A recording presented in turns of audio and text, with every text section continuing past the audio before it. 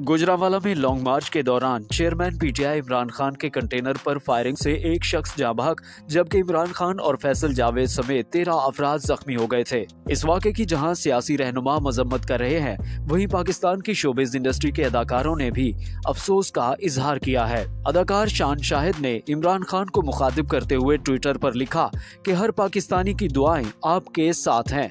आप हमारी उम्मीद हैं और अल्लाह हमारी उम्मीदों की हिफाजत करेगा इन सीनियर अदाकार अदनान सिद्दीकी ने इमरान खान पर फायरिंग के वाक़े पर अफसोस करते हुए लिखा कि मेरे पास अल्फाज नहीं है। अल्लाह इमरान खान और दीगर को महफूज रखे।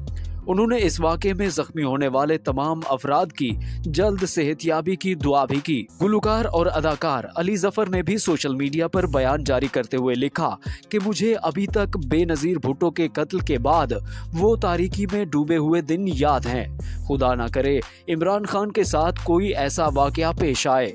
कोई तस्वुर नहीं कर सकता कि फिर क्या होगा। इसके अलावा अदाकारा वीना मलिक ने भी सोशल मीडिया पर लिखा कि खान के लोगों ने खान को घेर कर खान की जान बचाई। ये गोलियाँ खान पर नहीं 22 करोड़ अवाम के दिल पर चली हैं। अदाकारा आर्मीना खान ने भी हैरानगी के साथ इमरान खान पर फायरिंग के वाक़े की शदीद मजम्मत की।